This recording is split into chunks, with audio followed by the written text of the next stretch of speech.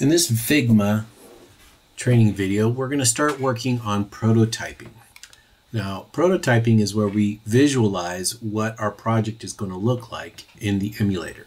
So inside of uh, your Figma file, I'm going to click on desktop layout, so the frame containing the page we want to prototype. And I'm going to go over here on the right side where it says uh, present, and I'm going to hit that play button.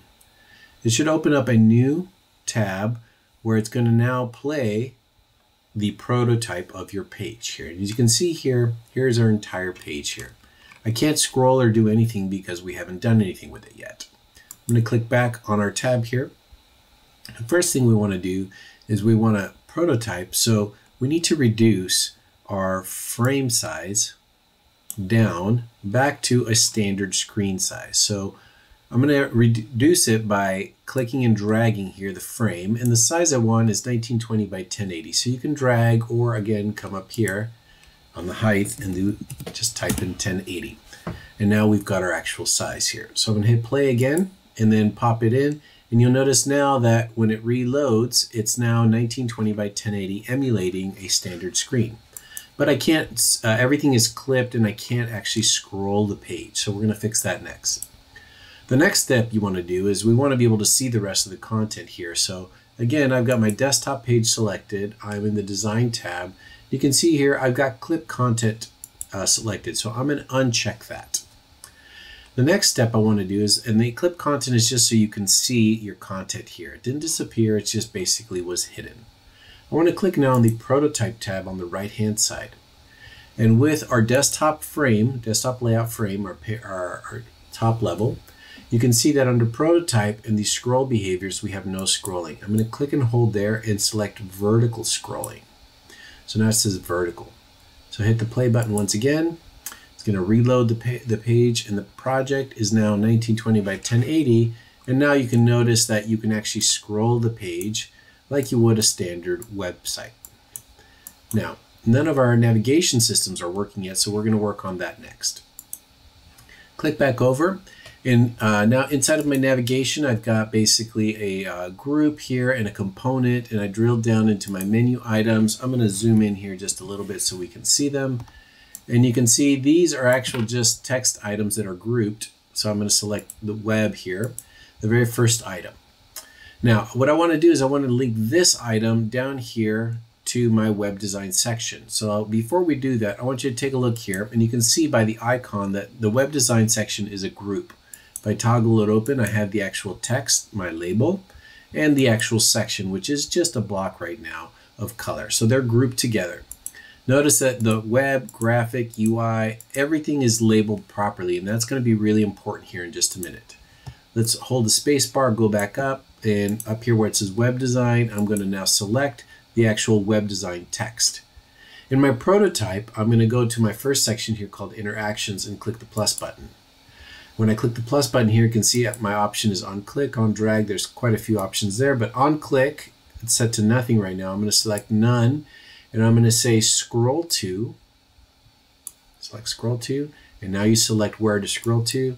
And you can see now why we had to label all of our sections here. Here's our web design section. And if you look all the way to the left, you can see I've got the correct section there. So now you can see it adds a little visual arrow to show, hey, when I click here, it's going to scroll down to this section instantly here. If you notice, every time we change something in, the, in our interactions, it basically gives us another option. So I don't want it to be instant. I want it to actually animate. And I'm going to leave the default animation. There are some here that you can experiment with, but the ease, ease out is fine for this for right now.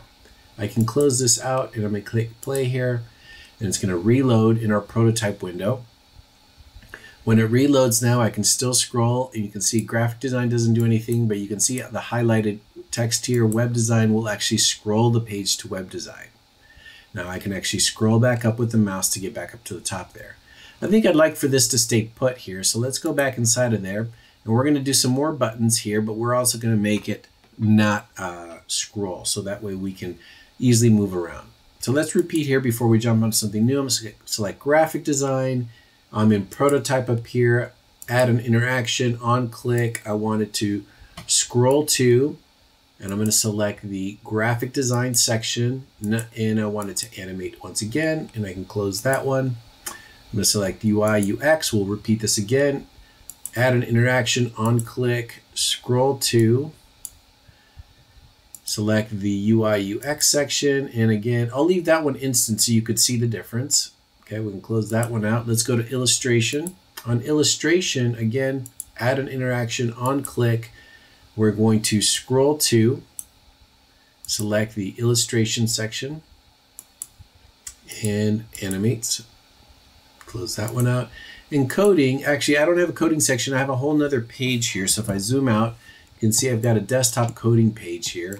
What I'm going to do is on code there, I'm going to select that one, add the interaction, but on click, it's not going to scroll to. I'm going to uh, instead click navigate to, okay, navigate to. In this case, now you notice I can see my other pages, and I've only got two pages here. So desktop coding. So now it's saying I'm going to go to that one. Okay instantly um, because that would emulate a actual um, web page click. So I'm going to click play here. It reloads and we can see web design will scroll. I'm manually scroll up. Graphic design goes, scroll back up. UI, UX. Now this is instant. Watch. No scrolling. You see? It just instant is just instant. It just basically pulls it up. Illustration should also scroll. And then coding is now going to take us to the coding page. But no, notice that these were not coded at the, um, they were not coded up here at the component level. They were coded at the page level. So this particular page here, this component does not have the link. So you do want to make sure that you go through this process at the component level so that way it works on all pages. So going back to here, the other option that I wanted to do is I want to just come up here and select my navigation group. And under navigation, under the prototype tab, you see here it's still, the default is scroll with parent. I want to change that and just make it fixed so it doesn't scroll at all. Fix, stay in place. And let's hit play one more time. It's going to reload the page here.